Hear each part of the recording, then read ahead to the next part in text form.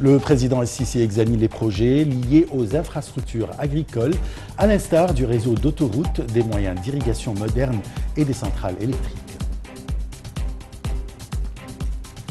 Le Premier ministre Mustafa Madbouli déclare que l'Égypte a besoin de mettre en œuvre une stratégie en vue de développer l'industrie. s'est exprimé lors de la deuxième journée de la conférence économique Égypte 2022. Rishi Sunak est le prochain Premier ministre britannique. L'ex-ministre des Finances a remporté la course à Downing Street et va succéder à Liz Truss à la tête d'un pays en pleine crise sociale et d'une majorité très divisée. Les informations en détail. Le président Abdel Fattah el-Sisi s'est réuni aujourd'hui avec le conseiller du président de la République pour la planification urbaine, le chef de l'autorité de génie des forces armées, le directeur des projets du service national des forces armées et un certain nombre de responsables concernés dans le but d'examiner les méga-projets de production agricole dans la région de Toshka et au sud de la vallée et le projet dit Avenir de l'Égypte dans le nouveau delta. Le président a examiné les travaux dans les projets liés aux infrastructures agricoles à l'instar du réseau d'autoroutes des moyens d'irrigation modernes et des centrales électriques. Le président Assisi enjoint de favoriser tous les équipements et les outils agricoles indispensables à la saison hivernale pour profiter des terrains bonifiés dans l'ensemble du pays. Car cela devrait renforcer les efforts de l'État visant à réaliser l'autosuffisance en récolte stratégique et créer d'emplois dans divers domaines.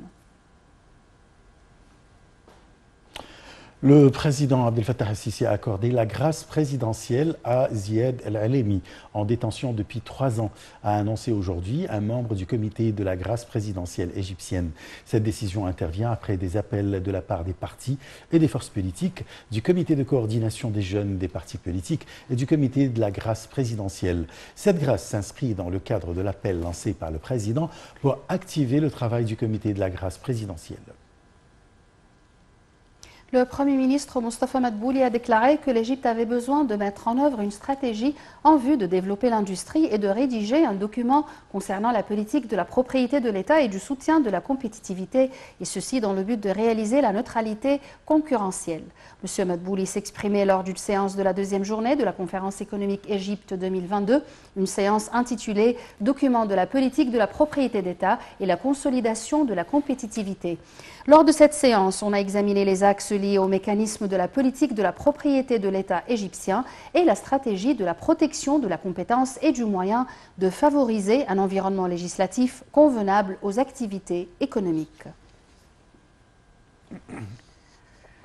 Au cours de la séance intitulée Opportunités et perspectives de financement international pour soutenir le secteur privé, le ministre de la Coopération internationale, ou, plutôt la ministre Rania El Machot, a souligné qu'il y avait des projets en cours avec un financement international de 23 milliards de dollars, dont 7 milliards de dollars sont alloués au secteur privé.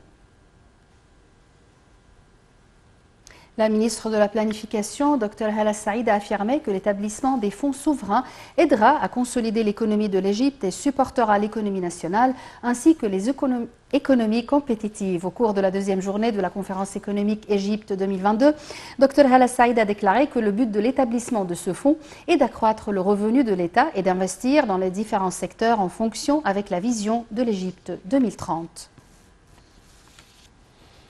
Au Liban, les députés ont échoué pour la quatrième fois aujourd'hui à élire un successeur au président Michel Aoun, dont le mandat expire.